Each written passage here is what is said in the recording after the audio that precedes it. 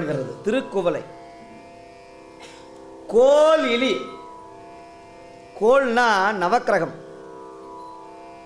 நான் மீண்டும் வலியுறுத்துவேன். ஏற்படக்கூடிய தீமைகளை நீக்குகிற தலம் அதில் சிறப்பு வாய்ந்தது இந்த திருக்கோல் இலி. கோல்னா நவக்கிரகம். இலின்னு சொன்னால் இல்லைன்னு அர்த்தம். நவக்கிரகமே கிடையாது. நவக்கிரகத்தால் ஏற்படக்கூடிய தொல்லைகளை நீக்கக்கூடிய தலம் இந்த திருக்கோலிலி அத்துணை சிறப்பு வாய்ந்த இந்த திருக்கோலிலி தேவாரத்தை இத்திருப்பதிகத்தை பழந்தக்கராகத்தில் பாடக்கூடிய வழக்கம் உண்டு. பழந்தக்கராகம். இதுவும் விடங்க ஸ்தலம்.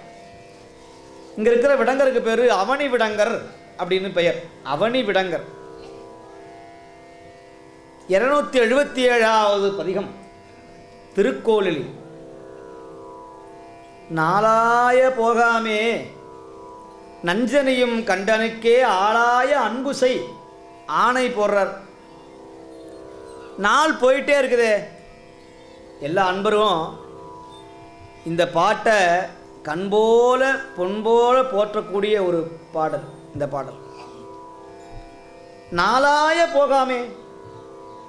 யாருக்காவது நாள் குறையுதா? பதினாறு வயதுல இருந்து யாருக்காவது பதினஞ்சு வயசு ஆயிருக்கா அறுபதுல இருந்து யாருக்காவது நாற்பது வந்திருக்குதா? எண்பதுல இருந்து யாருக்காவது முப்பது வந்திருக்குதா? இல்லை. மேலே தான் போயிட்டு இருக்கு அறுபதுல இருந்து அறுபத்தி ஒன்று தான் ஆகுமே ஒழிய ஐம்பத்தி ஒம்பது ஒருபோதும் ஆகவே ஆகாது. நம்ம வேணா மறைச்சிக்கலாம் மையத்தரவி உடம்பு மறைக்க முடியுமா? முடியாது. இதை சொல்கிறார் திருஞான சம்பந்தர் நாளாய போகாமே. இந்த நாள் போகிறதுக்காக நம்ம என்ன பண்ணுறோம் நாமளும் நம்ம இல்லை. ஒரு இனிப்பு கட்டியை வாங்கி வச்சு அது மேலே சில மெழுகு விளக்குகளை ஏற்றி ஒரு ஆங்கிலத்தில் ஒரு பாட்டை பாடி அந்த யார் அந்த பிறந்தநாளுக்காகலாம் கூப்பிட்டு வாயில் அப்படி புணு ஊதி அந்த விளக்கையெல்லாம் அணைச்சிவிட்டு நீடுடி காலம் வாழ்கன்னு வாழ்த்துறோம். இது எப்படி வாழ்த்தாகும்? நாள் போகுதேன்னு வருத்தம் தானே படணும். பதினாறு முடிஞ்சு பதினேழு ஆச்சுன்னா வருத்தம். ஐயோ ஒரு வருஷம் போயிடுச்சே பதினாறு முடிஞ்சிடுத்தே பதினேழு ஆயிட்டேன்னு நினைக்கிறமே தவிர பதினேழு ஆயிட்டுன்னு மகிழ்ச்சி அடைகிறான். இப்போ பதினேழு ஆகுதுன்னு மகிழ்ச்சி அடைகிறவங்க ஒரு எழுபதுக்கு மேலே போனால் கொஞ்சம் வருத்தப்படுவாங்க. இதுக்கெல்லாம் பயப்பட வேண்டிய அவசியம் இல்லை.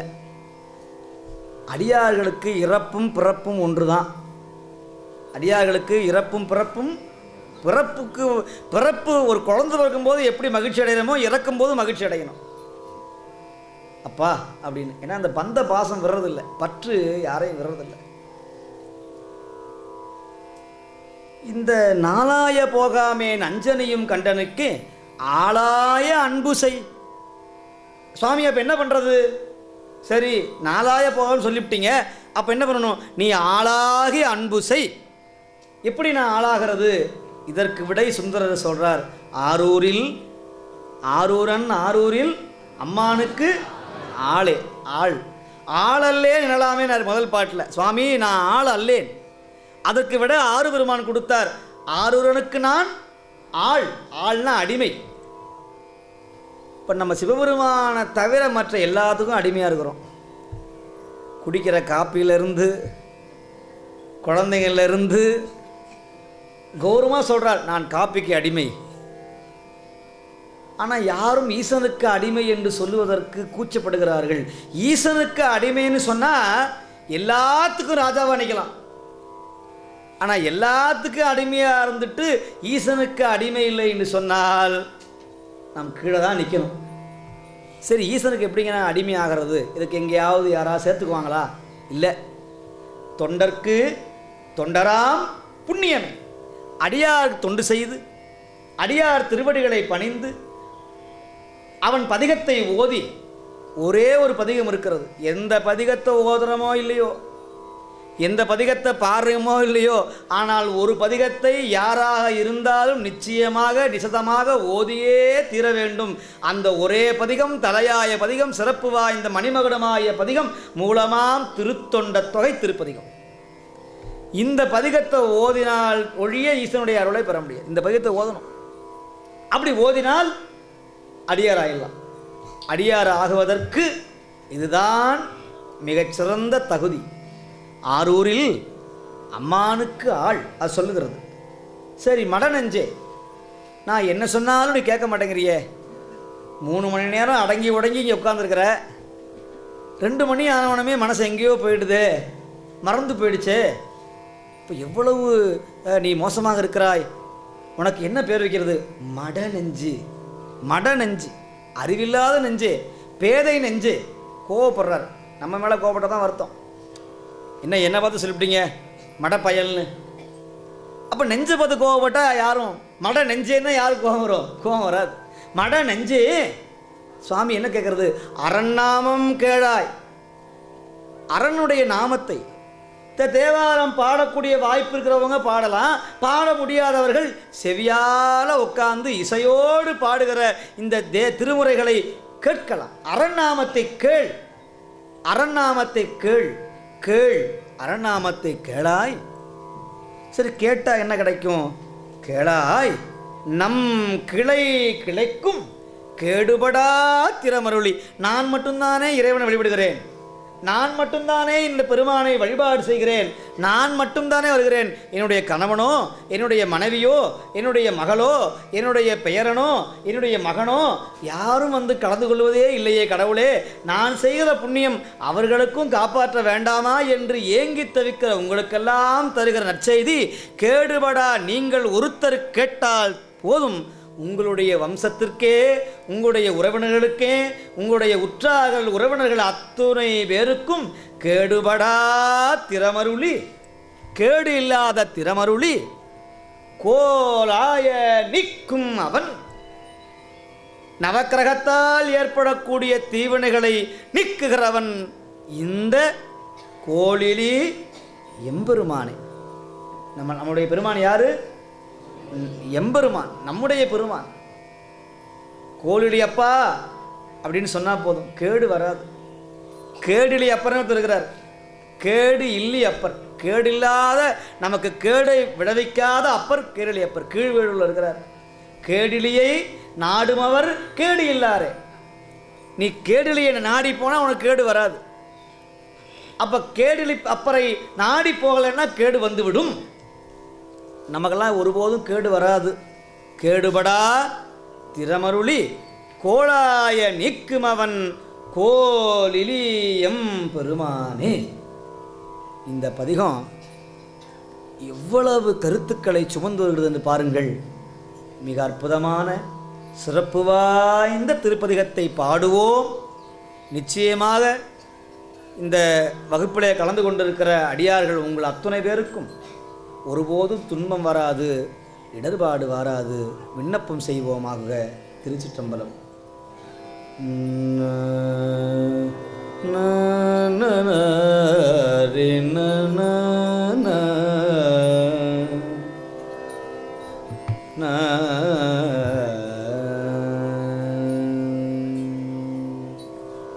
நாளாய போகாமே நஞ்சனியும் கண்ட நோக்கே ஆலாய அன்பு செய்வோம். மடனெஞ்சே அரணாமம் கேளாய் நம் கிளை கிளைக்கும் கேடுபட திருமருளி போலாய நீக்கும் அவன் போலிலியம் பெருமானே. ஆடரவத் தழகாமை அணிகேடல் மறவ பொருகாதன் துணை மதனல் சேவடிக்கு பாடரவ திசை பயின்று பணிந்தழுவார் மனத்தில் கோடரவம் நீக்கும் அவன் கோலிலியம் பெருமாள். நன்று நகு நாள் மறல நல்லிருக்கு மந்திரம் கொண்டொன்றி வழி பாடு செய்ய. உற்றவன் தந்தோங்கு என்று கன்றி வரு கால நுயிர் கண்டவனு கன்றளித்தார் கொன்றை மலர் கொண்டியடும் கோலிலியம் பெருமாள் சந்தமணல்லாலிங்கம் மன்னியின் கண் பாராட்டும் சிந்தை செய்வோன் தன் கருமம் சேர்ந்து செய்தைப்பா பரும தந்தை தனை சாடுதலும்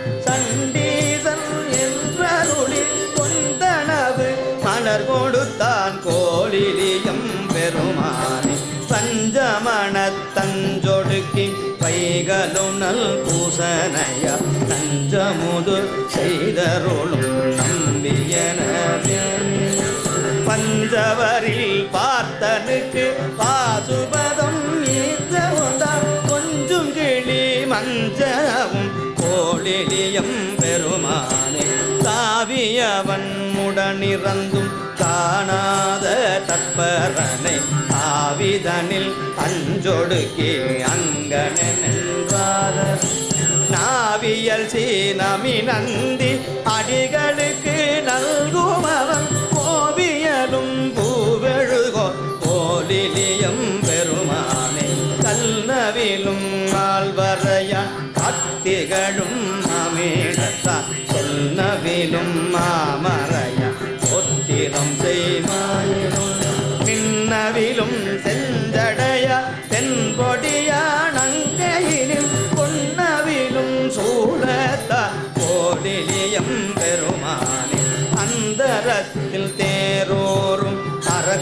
மாலை என்றடொப்ப சுந்தரத்தன் திருவிரலா அவன் உடல் நெறித்து மந்திரத்த மறைவாட வானுடன் பொன்னரத்த மதிச்செல்வி பெருமானே நாணமுடை வேதியனும் நாரணனும் கண்ண ஒன்னா தானுவெனை ஆளுடையான் கண்ணடியார் கண்புட பானனிதை பத்திமையார்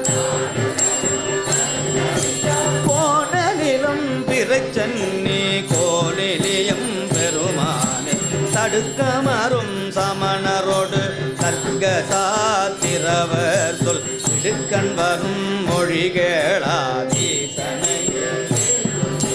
நடுக்ககில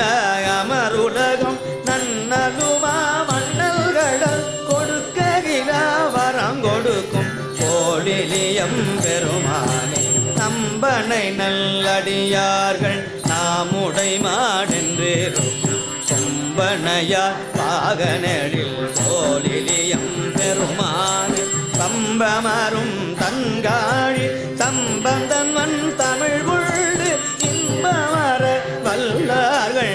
எய்துவர்கள் ஈசனைய சம்பமரும் சம்பந்தன்வன் தமிழ் கொண்டு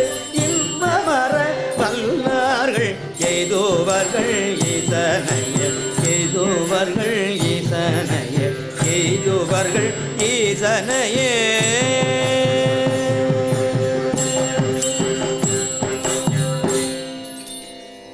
நரரி நரரரர.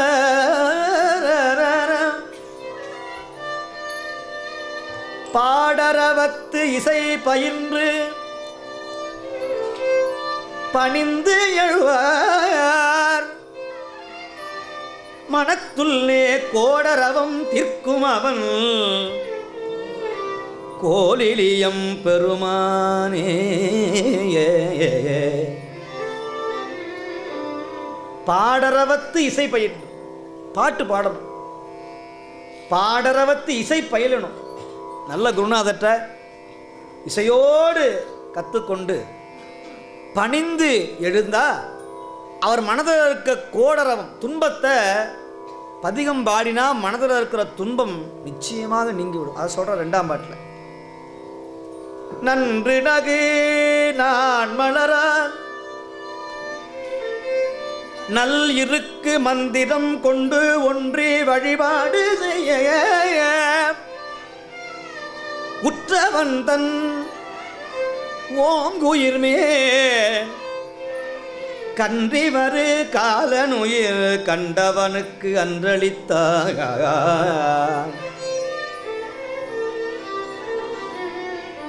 கொன்றை மலர் பொன் திகழும் கோலியம் பெருமானே. காலனை காலால் கடிந்த கண்ணுதல் கற்பகம் எம பயத்தை நீக்குவான் இந்த கோரளி பெருமான் அது சொல்லுகிறார். வந்த மணலா லிங்கம் மன்னியன் கண் பாலாட்டும் சிந்தை செய்வோன் தன் கருமம் தேர்ந்து சிதைப்பான். வரும் அத்தந்தைதனை சாடுதலும் சண்டீசன் என்பருளி கொந்தனவு மலர் கொடுத்தான். கோலிலியம் பெருமானே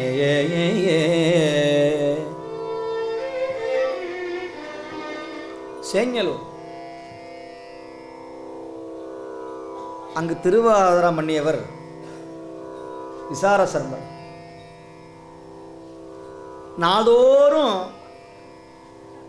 நல்ல அந்தனர் குலத்தில் பிறந்திருக்கிறார். ஆனால் சிவத்தை உணரல. குலம் என்பது பொருட்டல்ல. யாரெல்லாம் சிவபெருமானை உணர்றாங்களோ அவங்க உயர்ந்தவர்கள். யாரெல்லாம் சிவபெருமானை மறக்கிறார்களோ அவர்கள் தாழ்ந்தவர்கள். குளத்தில் உயர்ந்தாலும் சரி சிவபெருமானை மறந்துட்டால் அவங்க தாழ்ந்தவங்க. அந்தனர் குலத்தில் பிறந்திருந்த இந்த எச்சதத்தன் சிவ வழிபாட்டை உணர்வான் இல்லை. சிவபெருமான்னா என்னன்னு தெரியாது போடுறது ஆனால் ஏழு வயது நிரம்பிய ஞான பிள்ளையார் ஞானமே வடிவாகி எந்தை பெருமான் விசார சர்மர் முன்னையினுடைய பண்டைய தவத்தின் காரணமாக ஞானத்தை உணர்றார். இப்போ நமக்கும் அப்படித்தானே? சில பேர்த்துக்கு பத்து வயசில் ஞானம் வருகிறது. சில பேர்த்துக்கு இருபது வயது முப்பது வயசில் ஞானம் வருகிறது. சில பேர்த்துக்கு நாற்பது ஐம்பது அறுபதில் வந்து விடுகிறது. சில பேர்த்துக்கு எழுபதில் வருது. சில பேர்த்துக்கு எண்பதில் ஞானம் வருது. சில பேர் ஞானம் வராமையே அப்படியே போய் சேர்ந்துடுறாங்க. ஆனால் நாம் எவ்வளவு பெரிய பாக்கியவான்கள்னு ஒவ்வொருத்தரும் நினச்சிக்கணும். ஒவ்வொருத்தரும். இந்த பிறவியில் இந்த காலத்தில் பெருமான் திருவடியை பிடிச்சு இவ்வளவு தேவாரத்தையும் உணர்வோட பன்னிசையோடு அந்த பெருமான் திருவடியை விட்டு அகலாது பாடணும். தேவாரம் பாடினா அப்படி பாடணும். திருமுறை பாடினா அப்படி பாடணும். உருகி நெக்கு நெக்கு ஏங்கி பாடணும். உள்ள இருக்கிற அந்த இதயத்தை தட்டணும். ஒரு பாட்டு பாடினா அப்படியே உள்ளேருந்து அப்படியே கல்லில் இருந்து ஈரம் சொரியின மாதிரி உள்ளத்துலேருந்து இருந்து அப்படியே கண்ணீர் சொரியணும். சிவபெருமாண்ட பக்கத்தில் போகணும். அதுதான் உணர்வு. அது சொல்கிறார் வந்த மணலால் மண்ணி ஆற்றங்கரையில் இவர் நாள்தோறும் பசுமாடு மேய்க்கிறது. பசுமாடை காப்பாற்றணுங்க இன்னைக்கு ரொம்ப மிகப்பெரிய இடர்பாடு இந்த பசு வழிபாடு செய்யுது ஒரு பசுமாடை ஒரு முறை வளம் வந்தால் கைலாயத்தை ஓராயிரம் முறை வளம் வந்த புண்ணியம்னு சிவதர்மோத்தரம் சொல்லுகிறது. எல்லா விலங்குகளுடைய மலமும் சலமும் நாற்றம் ஏற்படும். ஆனால் அம்மை காமதேவனுடைய மலமும் சலமும் ஒருபோதும் துர்நாற்றம் வீசுவதில்லை. மாறாக அதை பருகுகிறோம். பெருமானுக்கு ஆணைந்து பால் தயிர் கோமயம் கோசலம் நெய் என்கிற பஞ்சகவ்யத்தை வழங்குகிற கற்பக தரு அம்மை பசு. அதனால தான் கோயிலில் பசு வழிபாடு செய்கிறோம் ஓராயிரம் கோடி செலவு செய்து கும்பாபிஷேகம் செய்தாலும் சுவாமியினுடைய திருமுகம் முதல்ல பார்க்க வேண்டிய பொருள் பசுவும் அதனுடைய கன்றும் தான். ஒரு சாதாரண கன்று குட்டி இருந்ததுக்காக குளத்துக்கு பிறந்த ஒரு மகனை தம்முடைய தேர்க்காலில் வைத்து நசுக்கிய பெருமை நம்முடைய சைவத்திற்கு உண்டல்லவா மனுவை காத்த பெருமான் பசுமாடு தானே? அமைச்சர் சொல்கிறாங்க இதற்கு பரிகாரம் உண்டு. ஆயிரம் மந்திரங்களை அழைத்து ஆயிரம் பேத்துக்கும் ஆயிரம் பொற்காசு கொடுக்கலாம். ஆயிரம் அந்தனருக்கும் நல்ல அருமையான காராம்பசுவை வழங்கலாம். ஆயிரம் அந்தனர்களுக்கு ஆயிரம் கிராமங்களை தானம் வழங்கலாம். இதெல்லாம் பிராட்சித்தம்னு சொல்கிறார் சோழர் சொல்லுகிறார் என்னதான் பிராயசத்தம் பண்ணினாலும் இந்த தம்முடைய நாவினாலே மணியசைத்த அந்த தாய் பசுனுடைய துயரத்தை எம்மால் போக்க முடியுமா? அதனால் ஊனுக்கு ஊன் என்கிற வகையிலே என்னுடைய மகனை அந்த பசுமாடு கன்று எப்படி துன்பப்பட்டதோ அதுபோல யான் செய்வேன் என்று செய்தான். அப்பேற்பட்ட ராஜா மனுநீதி சோழர். அதனால தான் அவர் புராணத்தை பெரிய புராணத்துக்கு முதல்ல வச்சு விட்டார் பெரிய புராணத்தை தர்மம் இன்னைக்கு நினச்சிருக்குது? இங்கே மகன் கிடையாது மகள் கிடையாது ஏன்னா பின்னாடி உள்ளே வரப்போதெல்லாம் பார்த்தீங்கன்னா ரொம்ப கொடுமையாக தெரியும். என்ன மகனை வெட்டுறாரு? மகளை வெட்டுகிறார். பெண்ணுடைய கூந்தலை அழிஞ்சு தர்றாரு. நாக்கை அறுக்குகிறார் மூக்கை அறுக்கிறார். இதெல்லாம் என்னங்க அப்படி புது இந்த புராணத்தில் இப்படிலாம் இல்லவே. எங்களுக்கு தெரிஞ்சதெல்லாம் கம்பராமாயணம் ராமாயணம் தானே தெரிகிறது. இந்த புராணம்லாம் இவ்வளோ கொடுமையாக இருக்கு? இல்லை இல்லை. தர்மத்திற்காக எழுந்த ஒரே புராணம் பெரிய புராணம். அதனால தான் முதல்லையே துவக்கும் போதே சாதாரண பசுக்கன்றுக்காக தம்முடைய குலத்துக்கு குதித்த தம்முடைய ஒரே மகனை தேர்க்காலில் வைத்து நசுக்கிய பெருமையை சொல்லுகிறார் தெய்வ செக்கிழார் பெருமான். பசுவை காப்பாற்றணும் பசுவை கடைசி வரைக்கும் அது பால் சுரப்பது நிப்பாட்டினாலும் பரவாயில்லை. அது எவ்வளவோ சாணம் தருகிறது கோமயம் தருகிறது. பசுவை தெய்வமாக வைத்து பெற்ற தாயை விட பேண வேண்டும் பசுவை. எல்லா ஆவினங்களை பசு மட்டுமல்ல எல்லா மாடுகளையும் போற்றணும். அதற்குன்னு காப்பாற்று செய்யணும். அதற்கான புராணம் தான் இது. திருமூல தேவநாயனார் புராணம் மிகப்பெரிய உதாரணம். கைலாயத்திலிருந்து வர்றார் மிகப்பெரிய மாமுனிவர் யோகி தவசிரேஷ்டர் மாடு மேய்க்கிற இடையன் மூலன் என்பான். இறந்து போயிட்டான். மாடு மேய்க்கிற இடத்துல வயல் வழியில் தம்முடைய உயிரை விட்டு விட்டு கீழே விழுந்து விட்டான். இந்த பசுமாடெல்லாம் ரொம்ப பவ்யமாக அவன் மீது கொண்ட பற்றின் காரணமாக அவனை சூழ்ந்து கொண்டு அவனை நக்குவதும் அவனை காணோ என்று என்று அழுவதும் கண்ணிலே நீர் விட்டனமா. பசு அழுதுதான். இதை சுவாமிகள் பார்த்துக்கிட்டே வர்றார். சிவயோகி கைலாயத்தில் வர்றார். ஞானபுரி உடம்பு உள்ளவர். அந்த உடம்பு யாரும் கிடைக்காது. அப்படி கீழே வர்றபோது பசு அம்மா அப்படின்னு அழுது. இவர் பார்த்துட்டு அப்படியே போகல. பசுமாட்டினுடைய அழுகைக்காக தம்முடைய ஞான உடம்பவே தானமாக கொடுத்தவர் திருமூல தேவநாயனார். திருமூல தேவநாயனார். பசுமாட்டினுடைய அழுகைக்காக யாராவது ஞான உடம்பு கொடுப்பாங்களா? பசுமாடு அழுதா என்ன? ஐயோ பாவம் என்று சொல்வார் உண்டு. சில பேர் அதையும் இல்லாமல் போய்விடுவார்கள். இல்லை என்று சொன்னால் எங்கேயாவது ரெண்டு வாழைப்பழம் கிடச்சிதுன்னா இந்த சாப்பிடு. அப்படின்னு கொடுத்துட்டு போயிடுவாங்க. இது அது செய்யலை. அந்த மூலன் உயிரோடு எழுந்தால் ஒழிய இந்த பசுமாடு ஆவினங்கள் தம்முடைய கண்ணீரை நிறுத்தா என்று எண்ணி அவனுடைய உடம்பிலே தம்முடைய உயிரை செலுத்தி அந்த மூலனுடைய உடம்பிலே தம்முடைய ஞான உடம்பை வீசிவிட்டு மூலனுடைய உடம்பிலே சேர்ந்த காரணம் பசுவை காப்பாற்ற வேண்டும் என்கிற ஒரே கொள்கை. பசுவை காப்பாற்ற. அந்த பணியை செய்கிறார் விசார சர்மர் அப்படி நேராக மாடெல்லாம் மேய்ச்சிட்டு வந்தார். ஞானம் வந்து விட்டது. இப்போ ஞானம் வந்தால் என்ன கிடைக்கணும்? சிவபூசை பண்ணணும். ஞானம் வந்தால் சிவபூசை பண்ண முடியலங்கிறவங்க திருப்பதிகத்தை ஓதணும். சிவபூசையை விட பெரிய பூசை ஞான பூசை அது திருப்பதிகம் பாராயணம் செய்யணும் பதிகம் பாராயணம் செய்யணும் இவர் என்ன பண்ணினா நேராக வந்தார். மன்னி ஆற்றங்கரையில் அப்படி மணலை எடுத்து அப்படி மணலில் நீரை தெளித்து லிங்கமாக செஞ்சார். சரி லிங்கம் பண்ணிவிட்டாரு.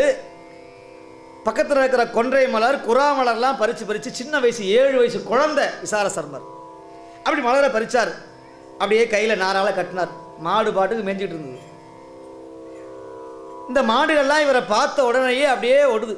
கன்றை பார்த்த தாய் பசு போல இந்த பசுவெல்லாம் இந்த பெருமானை பார்த்த மாத்திரம் சூழ்ந்து கொண்டன. இவர் கையில் என்ன பண்ணினார்? ஒரு குடத்தை வச்சுருந்தார். சின்ன குடம் சொம்பு. அந்த கொம்பை போய் இப்படி அப்படி மடியில் காமிச்சார். அவ்வளோதான் தன்னை போலவே பால் சொரிந்தது. அதுதான். எல்லா பசுவும் பாலை சொரிந்தது. அந்த பாலை எடுத்துக்கிட்டு அந்த மணலிங்கத்தை போய் அபிஷேகம் செஞ்சார். இரு நிலனாய் தீயாகி நீருமாகி இயமான நாயெறியும் காற்றுமாயே. அருநிலைய திங்கள ஞாயிறாகி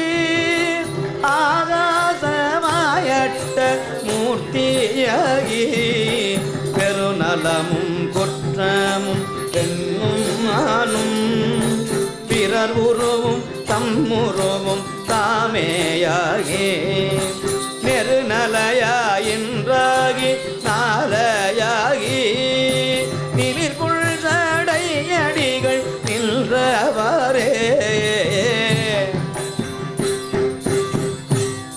சிவபூசை பண்ணுகிற பொழுது அபிஷேகம் செய்கிற போது பாட வேண்டிய பதிகம் நின்ற திருத்தாண்டகம்.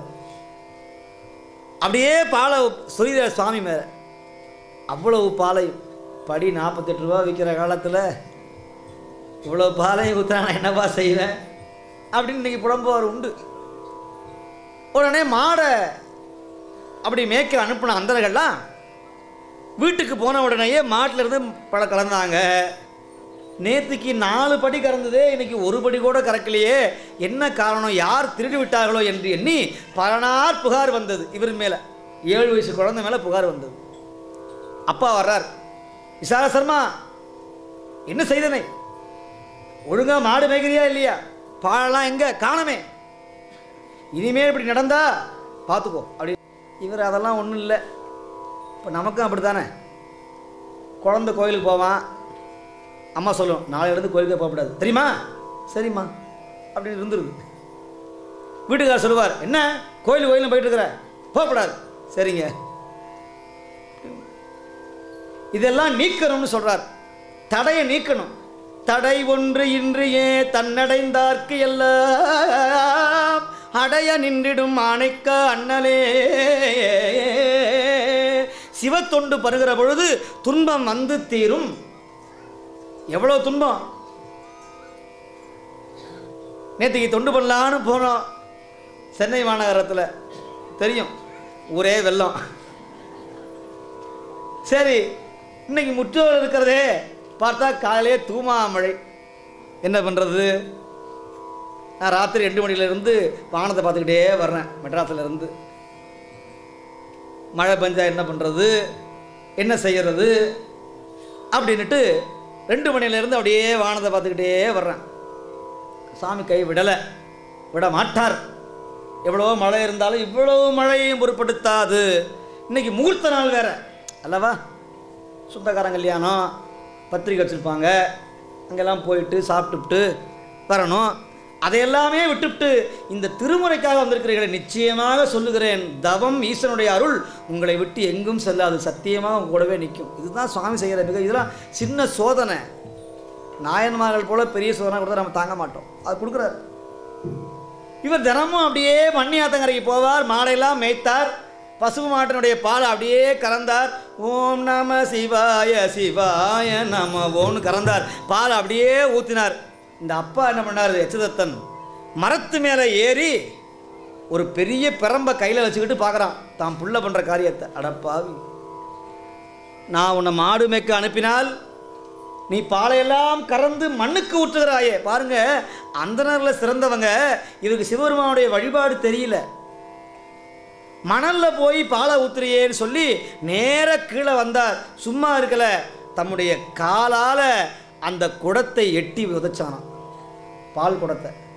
இவருக்கு ஒன்றும் தெரியல அப்பா யாரு அம்மா யாரு தன்னை மறந்தால் தன் நாமத்தை கெட்டார் சிவனோடு ஐக்கியமாயிட்டார். எதுவுமே தெரியல. இரவாவது அறியேன் பகல் இரவாவது அறியேன் இறை நான் என்பது அறியேன். எல்லாம் மறந்துட்டார். இவர் கையில் பூ இருக்கிறது பாலை ஊற்றிக்கிட்டே இருக்கிறார். இவர் பால் குடத்தை எட்டி வச்சார் விசார சர்மா அப்படின்னார். இவர் காதலே விழலை. காதலே விழலை. நம்ம தேவாரம் பாடிக்கிட்டே இருக்கிறோம். அங்கே பக்கத்தில் எங்கேயாவது கொஞ்சம் மெதுவோட போட்டாங்கன்னா அப்படி வாசம் வந்தது தான் டிவி இதுதான். சிரமம். ஞான முதிர்வு. ஏன் நம்ம எல்லாம் சாதாரண மனிதர் தானே. இந்த நிலையை அடையணும்னா ஒரே வழிதாங்க. எம்பிரான் சண்டீச நாயனா திருவடியை பிடிச்சிட்டு அந்த நிலைமை வந்துடும் எளிமையான வழி. எளிமையான வழி அருபான்மை நாயன்மார் திருவிடையை பிடிச்சிக்கங்க அவர்கள் போலவே நாம் நம் நம்மையும் பெருமான் வாழ வைப்பார். நமக்கும் காட்சி கொடுப்பார். இப்போ அந்த திருக்கூடத்தை எல்லாம் காலை இடறனா இன்னும் கோவம் அதிகம் வந்தது.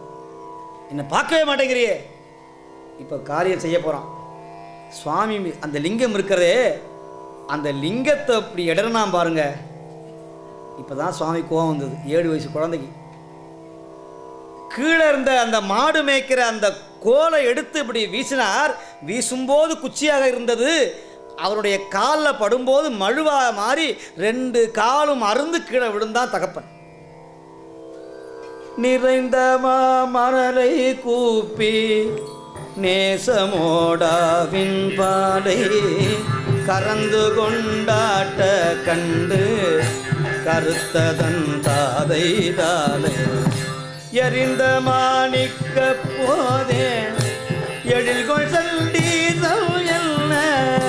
சிறந்த பேரளித்தார் சேரை சென்னறி செல்வனாரே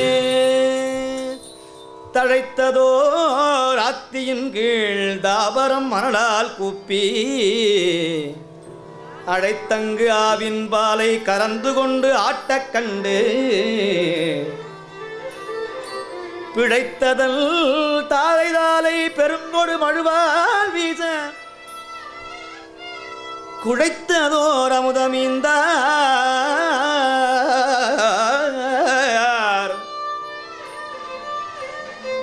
குறுக்கை விரட்டனாரே.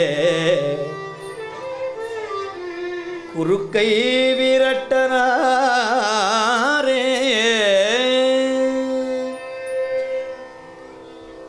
மடுவை மழுவை வீசினார் பாருங்க அப்படியே ரெண்டு காலும் அருந்து கீழே விழுந்தான் எச்சதத்தன். இப்போ சுவாமி சிவபூஜை பண்ண ஆரம்பிச்சிட்டார் தொடர்ந்து. ரத்தம் போகுது. இவன் கத்துறான் ஐயோ! அப்படின்னு கத்துறான். யார்? தகப்பன். இவர் அதெல்லாம் ஒன்றும் பொருட்படுத்தலை. இவர் பூஜை பண்ண ஆரம்பிச்சார். மூவாய் இரவாய் போற்றி முன்னமே தோன்றி முளைத்தாய் போற்றி தேவாதி தேவர் தொழும் தேவே போற்றி செந்தேறி எங்கும் பறந்தாய் போற்றி. ஆவாகடியேனுக்கெல்லாம் போற்றி அல்லல் நலிய அலந்தேன் போற்றி. காவாய் கனக திறனே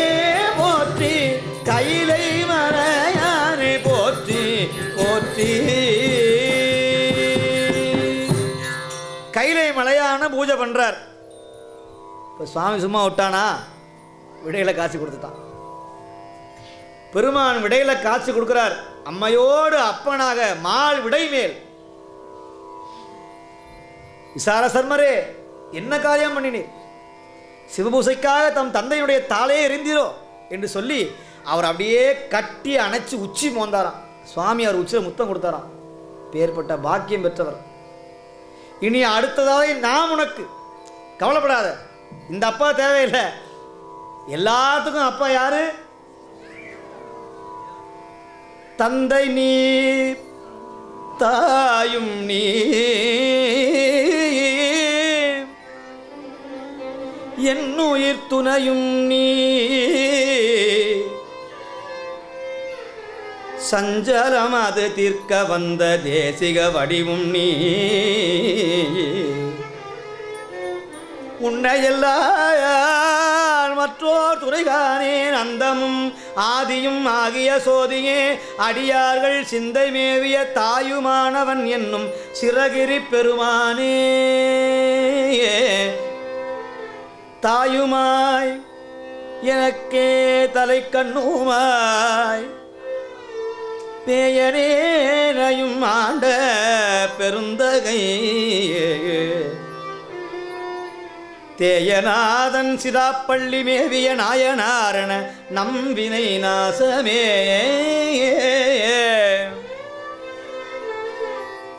ரத்னாவதி அம்மையார் நிறைமாத கர்ப்பிணி. காவிரியை கடந்து அம்மா வரணும். வெள்ளம் கரபுரண்டு ஓடும். தாய்மானவா என் பிள்ளைய யார் பிரசவம் பார்ப்பா? அப்படின்னு அப்படியே தாய் கண்ணீர் விட்டு அழுகிறாங்க. சும்மா வருவானா? தாயான ஈசன் கீழே வடிவில் அந்த அம்மா போல தாய் போல கையில் மருந்து எடுத்துட்டு நேராக வந்து பிரசவம் பார்த்து மருந்து கொடுத்து குழந்தை எண்ணெய் காப்பெல்லாம் போட்டு வெந்நீர் வச்செல்லாம் குளிப்பாட்டி விட்டு பல நாள் தங்கியிருக்கிறான். இப்போ உண்மையான அம்மா வெள்ளம் வத்தி வர்றாங்க. பெருமான் விடையில காட்சி கொடுத்தான். அது சொல்றார் தாயுமாய் எனக்கே தலை கொண்ணுமாய். அப்பேற்பட்ட கருணை வல்லல் ஈசன். அது சொல்றார். அடுத்த தாதை நாம் உனக்கு. அப்படின்னு தான் சடையில் இருந்த சடையை அப்படி உருவி அவர் தலையில கட்டுறார். உனக்கு சண்டீசனுமாம் பதம் தந்தோம் ஈசன் பதம் சண்டீசர் பதம். சண்டி ஈசன் தான் வச்சிருந்த கொன்றை மலரை அப்படியே கையில் வைக்கிறார். அந்த பழக்கம்தான் இன்னமும் சிவபூஜை பண்ணுகிற அன்பர்கள் கோயிலில் பூஜை பண்ணுகிற அன்பர்கள் சுவாமிக்கு சாத்திய எல்லா மலர்களையும் சண்டிகேஸ்வர பெருமானுக்கு சாத்தி மகிழனும்னு ஒரு மரபு இருக்கிறது. அந்த சண்டீச நாயனார் தான் இங்கே பக்கத்தில் உட்காந்து சிவதியானத்தில் ஈடுபட்டிருக்கிற அதே சண்டீச பெருமான். அவர்தான் தாதையை தாளர விசி சண்டி பெருமான். இன்னைக்கு அவர் மேலே நீ மற்றவங்கெல்லாம் எப்படி சொல்கிறாங்கன்னு தெரியும். இப்படி பண்ணுறாங்க இப்படி பண்ணுறாங்க அப்புறம் கட்டியிருக்கிற புடவை வேஷ்டி அதில் ஏதாவது நூல் இருந்ததுன்னா அதை அப்படி அப்படி எடுத்து அவர் மேலே இது யார் கொண்டு வந்த வழக்கம்னு தெரியல. மகா பாவம் அபச்சாரம். அவர் சிவ தியானத்தில் இருக்கிறார். இதுக்கு பேர் சண்டை முத்திரைன்னு பேர். இந்த மூணு இதில் சொல்லுவாங்க. தாளத்திரேய திக்பந்தன அவகுண்டன அப்படின்னு உண்டு. அதில் இந்த மூணு இதில் சுவாமி நான் உங்களை வணங்குகிறேன்னு அவர் சிவதியானத்தை கலைக்காமல் இருப்பதற்காக முத்திரை மட்டும் காமிச்சிட்டு வரணும். சிவசிவா சிவசிவான்னு சொல்லிவிட்டு அவர்கிட்ட பெருமானீரே எனக்கு எல்லா குற்றத்தையும் நீக்கி சிவ சிவ சிவபூசை செய்த பலனும் அப்பெருமானை வழிபட்ட புண்ணியமும் அடியேனுக்கும் என்றும் அனுக்கிரகம் செய்ய வேண்டி நான் நாள்தோறும் சிவபூசையை மறவாதிருக்க உம்முடைய பெரும் கருணை எங்களுக்கு வழங்கிவிட வேண்டும்னு சொல்லிட்டு அவர்கிட்ட விடைபெற்றுட்டு காலபேர்கிட்ட உத்தரவு வாங்கிட்டு தான் வெளியே வரணும். நான் இன்றைக்கி அந்த மரபெல்லாம் தெரியல. இந்த சண்டிகேஸ்வர நாயனார் தான் சண்டிகேஸ்வரராக அமர்ந்திருக்கிறார். ஒரு நாயன்மார் பெருமான் பக்கத்திலே இருக்கிற மாண்பு மானுடராய் பிறந்து தேவராய் வளர்ந்து சிவபெருமானோடு ஐக்கியமாகிய ஒரே நாயனார் சண்டிகேஸ்வர பெருமான் சண்டிகேஸ்வர பெருமான். சிவாகமத்தில் வேற மாதிரி சொல்கிறாங்க இந்த சண்டிகேஸ்வரர் வேற அவர் ஒருத்தர் வேற. அவங்க ஏற்றுக்க மாட்டாங்க. பொதுவாக நாயன்மாரை அவங்க ஏற்றுக்கிறது இல்லை. அதனால் நாயன்மார் தான் சண்டிகேஸ்வர பெருமானா இங்கே அமர்ந்திருக்கிறார். சண்டிகேஸ்வர பெருமானை வழிபட்டாதான் செய்கிற வழிபாடு பூர்த்தியடையும் செய்கிற சிவபூசை பூர்த்தியடையும் நிறைவடையும். சிவபூசை பண்ணிய பயனை தரக்கூடியவர் எம்பிரான் சண்டிகேஸ்வர நாயனன் அது சொல்றார் தந்தைதனை சாடுதலும் சண்டீசன் என்றருளியே. கொந்தனவும் மலர் கொடுத்தான் கோலிலியம் பெருமானே. ஐந்தாவது பாட்டு. பஞ்சவரில் பார்த்தனுக்கு பாசுபதம் இந்துகந்தான் கொஞ்சம் கிளி மஞ்சனாவும் கோலிலியம் பெருமானே. அர்ஜுனனுக்கு பாசுபதம் கொடுத்தார். அர்ஜுனன் ரொம்ப அழகுள்ளவன். அவன் நேராக வேட்களத்தில் போய் ஒற்றை கால் தவம் செய்கிறான் ஓ நம சிவாய. பல கோடி ஆண்டு ஆகிப்போச்சு. புத்து வளர்ந்துருச்சு அவன் மேலே. பாசுபதம் சிவபெருமானை பார்க்கணும்னு தவம் செய்கிறான் திருவேற்களத்தில். பெருமான் பார்த்தார் வேடுவனாய் வேடுவச்சியாய் ஒரு பெரிய பன்றியை மாயப்பன்றியை உருவாக்கி அப்படியே துரத்துறார். இந்த பன்றி நேராக வந்து அர்ஜுனன் புத்து மேலே ஓங்கி ஒரு முட்டு முட்டுச்சு. புத்து உடஞ்சது அர்ஜுனுடைய தவம் கலைஞ்சது. அட ஈன பன்றியே என் தவத்தை கெடுத்துவிட்டியே நான் பாசுவதம் எப்போ வாங்குறது? பெருமான பிள்ளைய வந்த அப்படின்னு சொல்லி தம்முடைய அம்பினாலே அந்த பன்றியை கொல்வதற்கு அம்பை விட்டான் சாமியும் அம்பை விட்டார் ரெண்டு அம்பும் சேர்ந்து ஒரே நேரத்தில் பன்றியினுடைய வயிற்றை கிழிச்சு பின்னாடி போச்சு. பன்றி ஓன்னு அலறி கீழே விழுந்தது. அர்ஜுனன் தொடைய தட்டினான். ஆஹா சபாஸ். என்னுடைய அம்புக்கு நிகர் யார்? என்னுடைய வில்லாளி நான். என்னை விட குறிதவராமல் யார் செய்ய முடியும்? எய்த்தவன் அந்த சுவாமி பார்த்தார் வேடுவராக வந்த சுவாமி. என்னுடைய அம்பிற்கு யார் சொல்ல முடியும்? அர்ஜுனை காட்டிலும் என்னுடைய அம்பு குய்தவராது. அப்படின்னு சொல்ற இந்த வார்த்தை அர்ஜுனன் கால விடு கோவம் வந்துருச்சு. நான்கிற மமதை வந்துருச்சு அர்ஜுனனுக்கு. வில்லு வில்லனுக்கு அர்ஜுனன். வில்லுக்கு அர்ஜுனன்கிற பெயர் பெற்றவன் நான். ஒரு சாதாரண வேடன். உனக்கென்ன? இவ்வளவு திமிரா என்று சொல்ல வாதம் முற்றுகிறது மல்யுத்தம் பிறக்கிறது. ரெண்டு பேரும் சண்டை போடுறாங்க. யாரு? கைலாயி நாதனும் அர்ஜுனனும். ஒரு கட்டத்தில் அர்ஜுனன் தோல்வி அடைகிறான் தம்முடைய புட்டியில இருந்து அம்பை எடுத்து சுவாமி மேலே இப்படி பலார் ஒரு அடி அடிக்கிறான். அம்பாளுக்கு கோவம் வந்துருச்சு. வீட்டுக்காரர் இல்லையா? அப்படி ஒரு முறை முறைச்சாங்க பாரு சுவாமி பார்த்தார். நம்ம குழந்தை. நம்ம குழந்தை நீ முறைக்கலாமா? சாந்தமாயிரு அப்படின்னாராம் உடனே அம்பாவுடைய கண் அப்படியே குறுகிடுச்சான். இந்த அம்பாள் பேர் நல்ல நாயகின்னு பேர் திருவேற்களத்தில் நல்ல நாயகியாம் அர்ஜுனன் மேலே கோவப்பட்டா சுவாமி நம்ம குழந்தை கோவப்படாது அமைதியாரு அப்படின்னாராம் உடனே மல்யுத்தம் வந்தது. பிறகு பெருமான் அவனுக்கு காட்சி கொடுத்து அவனுக்கு பாசுவதம் மீந்தான் அந்த வரலாறை சொல்லுகிறார். இந்த பதிகம் முழுக்க பாருங்க வரலாறா சொல்லுவார். அடுத்தது ஆறாவது பாடல். நாவியல் சீர் நமினந்தி அடிகளுக்கு நல்கும் அவன். கோவியலும் பூவெழுகோ கோலிலியம் பெருமானே அற்புதமான நாயனார். திருவாரூரில் திருவாதாரம் செய்து தொண்டு பன்றி முத்தி அடைஞ்சவர் நாதோறும் ஆரூர் அறநெறியில் போய் நல்ல நறு நெய்யால் விளக்கரிப்பாராம். சிவபெருமானுக்கு. இன்னைக்கு சுவாமிக்கு நெய்யினால் யாரும் விளக்கு போட முடியுமா? கடைக்கு போய் கடைக்காரர்கிட்ட ஐயா கடைக்காரர எது விலை மலிவாக இருக்குதோ எந்த எண்ணெய் ரொம்ப அழுக்காகி சும்மா கொடுப்பியோ அந்த எண்ணெயை கொடுவும் கேட்டு வாங்கி போகிறோம் வேறு வழியில் க- வறுமை என்ன பண்ணுறது வறுமை. சாப்பாடுக்கு போட்டுக்கோமா அப்படி? யாராவது கசர் எண்ணெயை வாங்கி. பெருமான் தானே. அப்படி செய்யலை. நல்ல நறு நெய்யை இவர் வீட்டில் எண்ணெயே இல்லை பாவம். சாப்பாடுக்கு நெய்யே கிடையாது. நெய் போட்டு சாப்பிடணும் தினமும் சாப்பாட்டில். நான் அவர் சாப்பிடவே நெய் இல்லை பாவம்.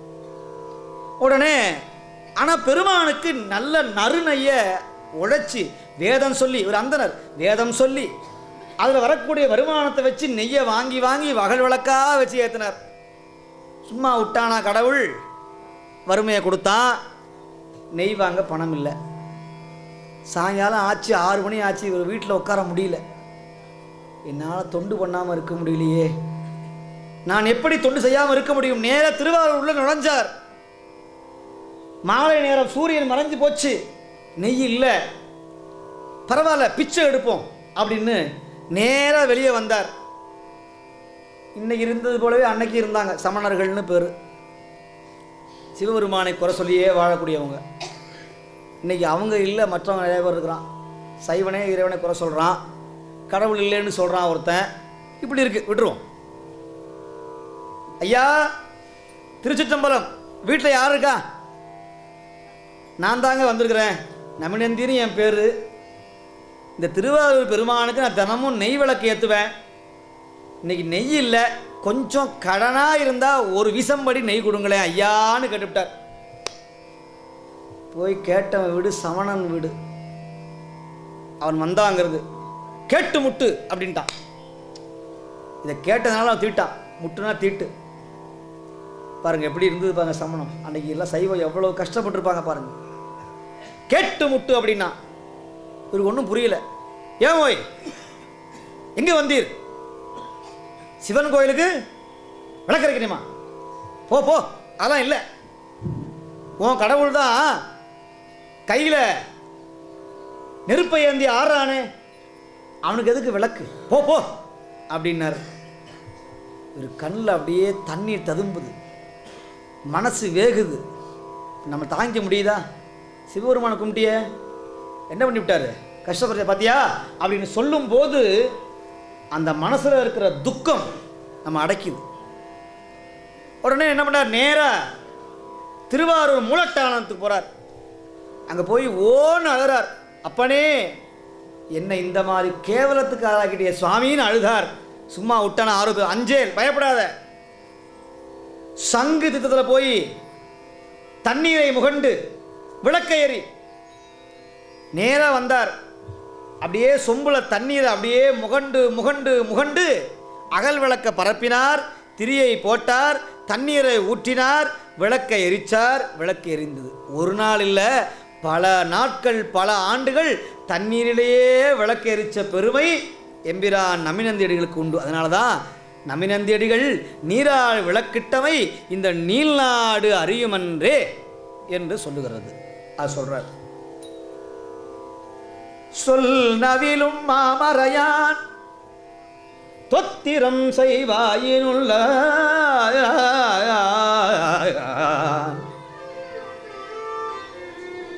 சிவபெருமான் யார் வாயில் இருப்பார் தெரியுமா? யாரெல்லாம் தேவாரம் சொல்கிறீங்களோ பாடுறீங்களோ உங்கள் வாக்கில் வந்து உட்காந்துக்குவானா. இப்போ நீங்கள் சொல்கிற வாக்கு பலிக்கும் தேவாரம் பாடுறவங்க சொல் வாக்கு பலிதம் ஏற்படும். மந்திர வாக்கு அது. மந்திர வாக்கு. அது சொல்கிற தோத்திரம் செய் வாயிலுள்ளா. பாணன் இசை பத்திமையால் பாடுதலும் பறிந்தவனுக்கு பரிசு அளித்தான். பானபத்திரர் நீலகண்டத்தி ஆழ்வானர் அந்த பெருமானுக்கு தங்க பலகையை போட்டு அதில் பாட வச்சான் சிவபெருமான். கோவிலுக்குள்ளேயே விட மாட்டாங்க. அப்படி இருந்தும் கூட பல்லக்கில் அவரை உள்ளே வரவழைத்து தங்க பலகையை போட்டு அதன் மேலே நின்று அவரை பாட வைத்திருக்கிறார். அப்பேற்பட்ட பெருமான் கொடுக்ககில்லா வரம் கொடுக்கும் கோலியம் பெருமான் நம்பனை நல்ல அடியார்கள் நாமுடை மாடு என்றிருக்கும் கும்பனையால் பாகனில் கோலியம் பெருமானை வம்பமரும் தன்காழி சம்பந்தன் வன் தமிழ் கொண்டு இன்பமர வல்லார்கள். எய்துவர்கள் ஈசனையே. இந்த பதிகத்தை பாடியவர்கள் இந்த பதிகத்தை கேட்டவர்கள் இந்த பதிகத்தை மனமுருகி பாராயணம் செய்பவர்களுக்கு சிவபெருமானுடைய அருள் பரிபூர்ணமாக நிச்சயம் கிடைக்கும் என்பது யாதும் ஒரு ஐயரவில்லை. அப்பேற்பட்ட சிறப்பு வாய்ந்த திருப்பதிகம் திருச்சிற்றம்பலம். நம்பனை நல்லடியார்கள் நாமுடை மாடென்று கும்பனையால் பாகனலில் கோடியம் பெருமாள் வம்பமரும் தங்காழி சம்பந்தமல் தமிழ் கொண்டு இன்பமர வல்லார்கள். ஏதோவர்கள் ஈசனையே இன்பமர வல்லார்கள்.